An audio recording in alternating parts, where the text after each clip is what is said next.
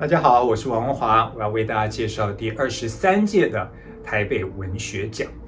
今年散文类的评审奖作品叫做《二零二零台北市结婚》，其中有一句话是这么说的：“瘟疫之年办喜事，惆怅与欢欣交织。”在台北，我们无求婚，无蜜月，倒是一切不缺，因为台北的平安，台北人的成全。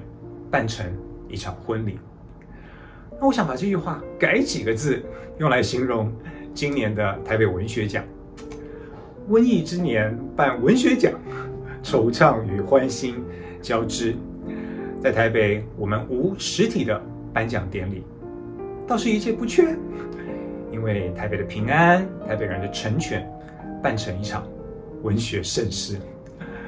今年的台北文学奖总共有一千。六百件作品参加，作者从十一岁到八十七岁，作品的题材很多元，疫情也是其中之一。除了刚才提到的二零二零台北市结婚，散文类的首奖小病也写到了疫情。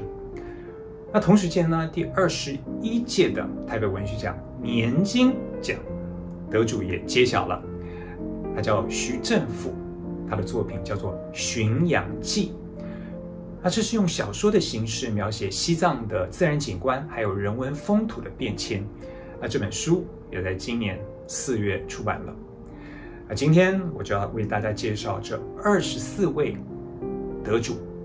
那同时间，我们邀请到几位贵宾，包括主办单位台北市政府的蔡炳坤副市长，还有评审代表是罗志成老师，以及这个讲座的创作者。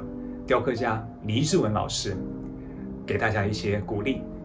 啊，接下来就让我们用影片开始这场独特的文学之旅。